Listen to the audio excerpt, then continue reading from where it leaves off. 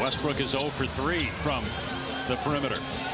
Jackson drive. Okay. Again. Reaves. This is the first energy that we have seen from the Laker crowd and the Laker bench.